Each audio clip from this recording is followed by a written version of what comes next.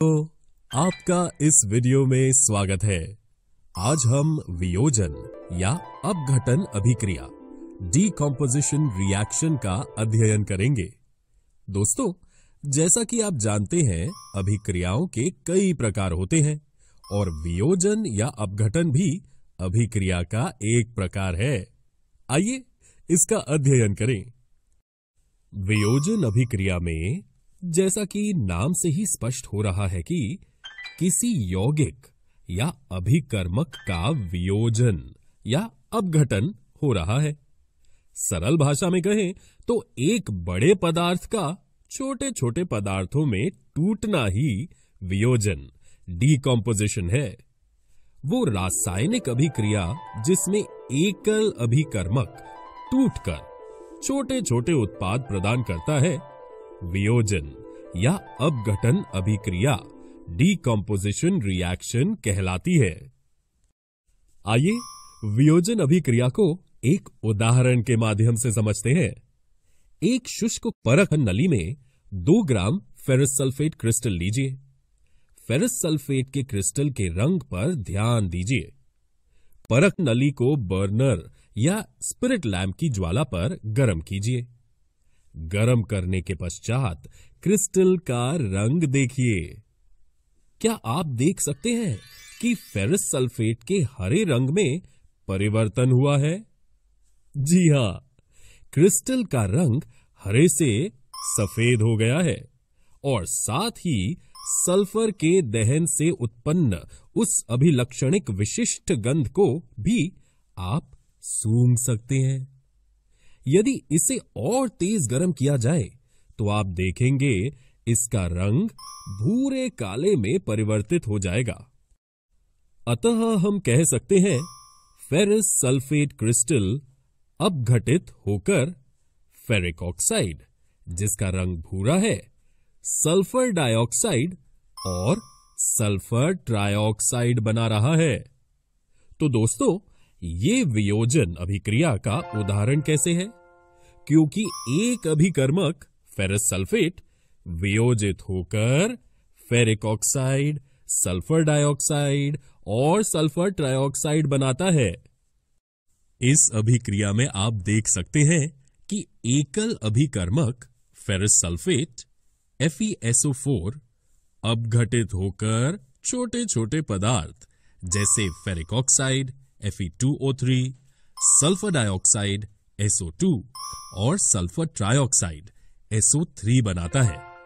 ये अपघटन या वियोजन का उदाहरण है।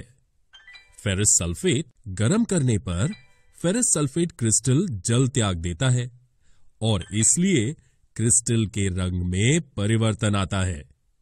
इसके उपरांत ये फेरिक ऑक्साइड सल्फ़र डाइऑक्साइड तथा सल्फ़र ट्राइऑक्साइड में वियोजित हो जाता है। फेरिक ऑक्साइड ठोस है, जबकि सल्फ़र डाइऑक्साइड तथा सल्फ़र ट्राइऑक्साइड गैस हैं।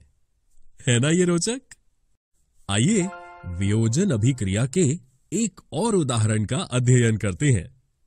ऊष्मा देने पर कैल्शियम कार्बोनेट का कैल्शियम ऑक्साइड तथा कार्बन डाइऑक्साइड में वियोजित होना एक प्रमुख वियोजन अभिक्रिया है, जिसका उपयोग विभिन्न उद्योगों में होता है। कैल्शियम ऑक्साइड को चूना या बुझा हुआ चूना कहते हैं। इसके अनेक उपयोगों में से एक उपयोग सीमेंट के निर्माण में होता है। ऊष्मा के द्वारा की गई वियोजन अभिक्रिया को ऊष्मीय वियोजन, थर्मल डिकम्पोजिशन कहते हैं। आइए वियोजन अभिक्रिया के एक और उदाहरण का अध्ययन करें। एक परख नली में दो ग्राम लेड नाइट्रेट का चूर्ण लीजिए। चिमटे में परख नली को पकड़कर ज्वाला के ऊपर रखकर इसे गर्म कीजिए। आप देखेंगे कि भूरे रंग का धुआँ उत्सर्जित होता है। ये नाइट्रोजन डाइऑक्साइड NO2 का धुआँ है। इसकी अभिक्रिया इस प्रकार होती है। लेड ऑक्साइड नाइट्रोजन डाइऑक्साइड और ऑक्सीजन में वियोजित हो जाता है। दोस्तों, आइए एक और रोचक वियोजन अभिक्रिया का अध्ययन करते हैं, जो है जल का वैद्युत अपघटन। जी हाँ दोस्तों, जल को हाइड्रोजन और ऑक्सीजन में अपघटित किया जा सकता है। जल में विद्युत धारा प्रवाहित करने से वो हाइड्रोजन H2 और ऑक्सीजन O2 में वियोजित हो जाता है। इस अभिक्रिया को हम इस तरह से दर्शा सकते हैं। सिल्वर क्लोराइड का अपघटन एक वियोजन अभिक्रिया का उदाहरण है। यह अभिक्रिया करने के लिए एक चाइना डिश में दो ग्राम सिल्वर क्लोराइड लीजिए।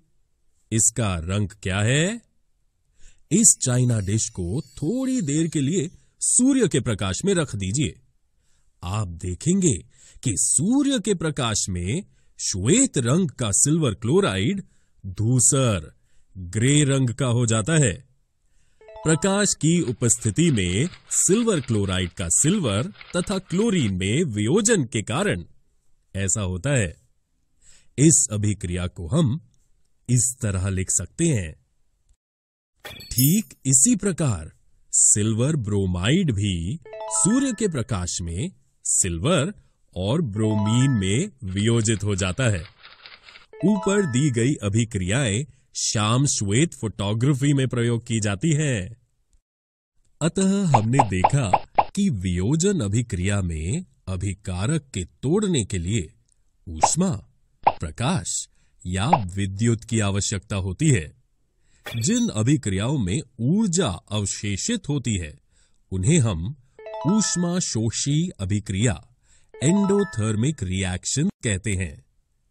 ऊर्जा का अवशोषण प्रतिक्रियाशील पदार्थ में मौजूद बंधनों को तोड़ता है, जिसके कारण प्रतिक्रियाशील पदार्थ उत्पादों में विघटित होते हैं। तो दोस्तों, आज हमने वियोजन अभिक्रिया डीकॉम्पोजिशन रिएक्शन का अध्ययन किया। अगले वीडियो में